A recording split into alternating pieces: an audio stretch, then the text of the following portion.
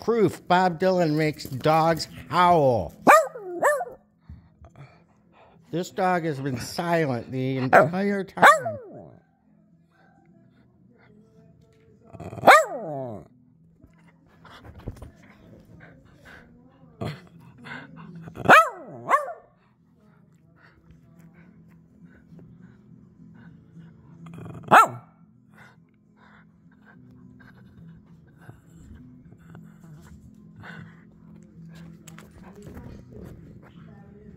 It's just Bob Dylan.